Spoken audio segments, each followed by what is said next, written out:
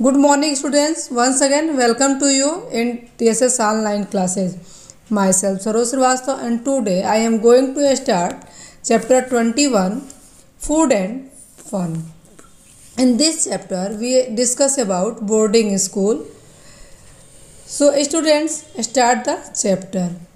Boarding school or residential school. Boarding school वह school होता है जिसमें हॉस्टल होता है, रेजिडेंशियल होता है, यानी बच्चे वहाँ पे रहते हैं। Which mean students live in school campus during the academic year इसका मतलब होता है कि बच्चे जो है पूरा जो सेशन जो एकेडमिक ईयर होता है, उनके पढ़ाई का जो साल होता है, उसमें वहाँ रहते हैं। और जब उनकी वैकेशन होती है, छुट्टियाँ होती हैं तो अपने वो घर को वापस जाते हैं। जैसे नॉर्मली स्कूल होते हैं, जैसे आप जाते हैं क्या? है आप शाम को वापस अपने घर चले आते हैं। लेकिन बोर्डिंग स्कूल में ऐसा नहीं होता है। वो बच्चे वहीं स्टे करते हैं और जब वकेशन होता है तो अपने घर को आते हैं। So let's start the chapter train the doorbell rang when Manpreet open the door she saw Divya and Swastik there train की आवाज़ के साथ डोर बेल रेंग की और जब मनप्रीत ने दरवाज़ा खोला तो उसने देखा कि उसकी जो दिव्या और स्वास्तिक वहाँ थे। She called out excitedly, Gurnoor look who has come Gurnoor देखो उसने बोला कि गुरनूर देखो कौन आया है? गुरनूर केम रनिंग गुरनूर दौड़ते आई। वेन सी सा हर फ्रेंड सी हक देम हैप्पली जब उसने अपने फ्रेंड्स को देखा तो उसने खुशी से उनको हक कर लिया। When did you came come from the hostel उसने कहा कि तुम तुम लोग कब आए हो हॉस्टल से? जस्ट स्टरडे मतलब कल ही। Where are your parents we want to meet them Swastik said Swastik ने कहा कि तुम्हारे पेरेंट्स कहाँ हैं? हम उनसे मिलना चाहते हैं। They are at the Gurudwara तो गुरनूर ने रिप्लाई दिया कि वो कहाँ हैं? गुरुद्वारा है। बच्चों, गुरुद्वारा कहाँ होता है? गुरुद्वारा जैसे से आपका मंदिर में पूजा करते हैं पढ़ने, करने जाते हैं। मस्जिद में लोग नमाज़ पढ़ने थे मुस्लिम रिलीजन के लोग, ऐसे ही सिख धर्म के लोग गुरुद्वारा में प्रे करने जाते हैं। We are about to go there too Gurnoor reply replied Gurnoor ने कहा कि हम भी वहाँ पे जा रहे हैं। वो good we will also come with you said Divya. तो दिव्या ने कहा कि हम भी तुम्हारे साथ चलते हैं। You come home only in the vacation do you like staying in the hostel you must be missing your parents Gurnoor आस, गुरनूर ने उनसे पूछा कि क्या तुम केवल वकेशन में आते हो और क्या वहाँ पे तुम हॉस्टल में रुकते हो? तो you must be missing your parents तो अवश्य ही तुम अपने पेरेंट्स को मिस करते होगे।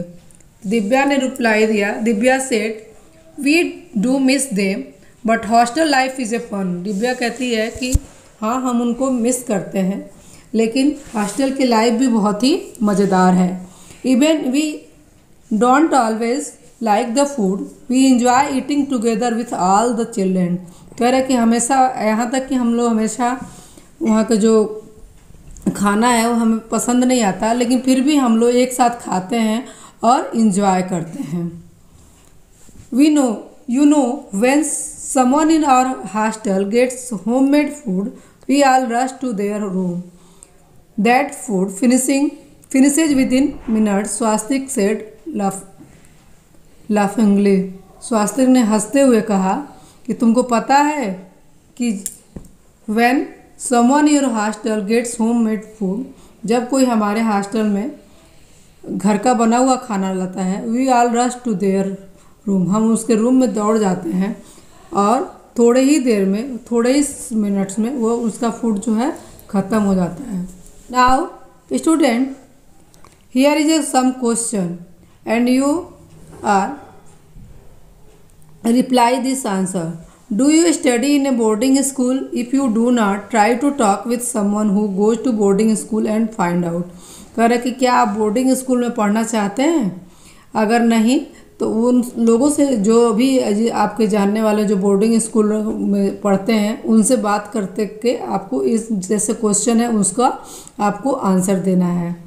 In what way is boarding school different from other school किस तरह से बोर्डिंग स्कूल जो है, अलग है और स्कूलों से? तो उसका तो इसका आंसर क्या होगा? In boarding school children do not come to home every day boarding school में बच्चे जो है, रोज़ घर नहीं आते हैं। Like they do in case of other school जैसे और स्कूलों में होता है।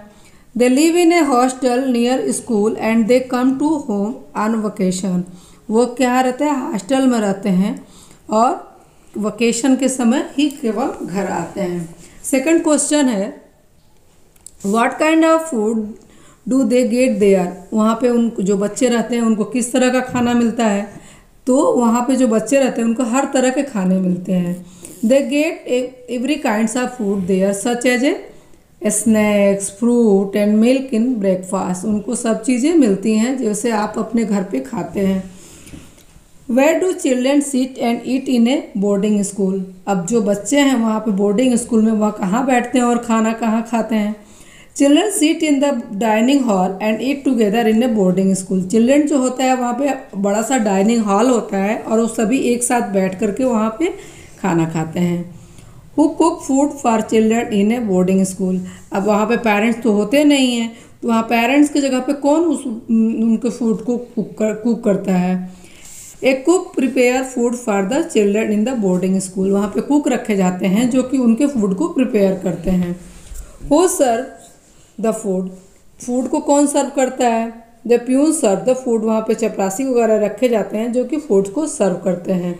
Who washes the vessels to wash vessel separate staff is there वहाँ पे वेसल्स वगैरह यानी बर्तनों को धोने वगैरह के लिए भी स्टाफ रखे गए होते हैं बोर्डिंग स्कूल में। Do the children miss home made food sometime कह रहे क्या बच्चे कभी कभी अप, जो है अपने घर के खाने को मिस करते हैं? या children miss home made food some time in the boarding school हाँ बच्चे कभी कभी अपने घर के खाने को मिस करते हैं। Would you like to go to boarding school and why कह क्या तुम बोर्डिंग स्कूल जाना पसंद करोगे? और क्यों? No no. अक्सर बच्चे क्या है बोर्डिंग स्कूल नहीं पसंद करते हैं। तो आप ये लिख सकते हैं no I do not like to go to boarding school because I will miss my parent there क्योंकि हम अपने पेरेंट्स को वहाँ पे मिस करते हैं। इसलिए बहुत सारे बच्चे बोर्डिंग स्कूल नहीं जाना पसंद करते हैं। So students good day